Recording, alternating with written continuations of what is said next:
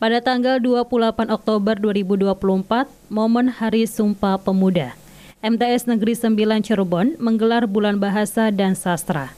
Kegiatan yang diselenggarakan di antaranya pembacaan seribu puisi oleh guru dan siswa. Judul puisi dari santri untuk negeri, pembacaan puisi dipandu langsung oleh penulis puisi Agus Sugiyatno. Kegiatan lainnya berupa workshop kiat menulis karya sastra, dan Kia sukses menjadi Master of Ceremony MC, diikuti sekitar 100 siswa perwakilan kelas. Serta lomba cipta poster dan lomba cipta puisi bertema Hari Santri dan Sumpah Pemuda.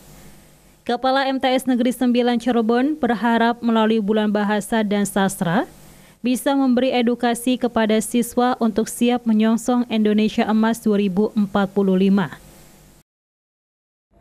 Assalamualaikum warahmatullahi wabarakatuh. Saya Ayah Alia, Kepala MTS Negeri 9 Cirebon, mengucapkan selamat memperingati Hari Bulan Bahasa. Dan kegiatan ini bertepatan dengan kegiatan Hari Sumpah Pemuda. MTS Negeri 9 Cirebon dalam rangka memperingati kegiatan Bulan Bahasa mengadakan beberapa kegiatan. Yang pertama, pembacaan seribu puisi oleh siswa dan guru yang kedua ada satu kegiatan workshop yaitu dengan tema bagaimana kiat menulis sastra dan juga kiat menjadi MC yang baik.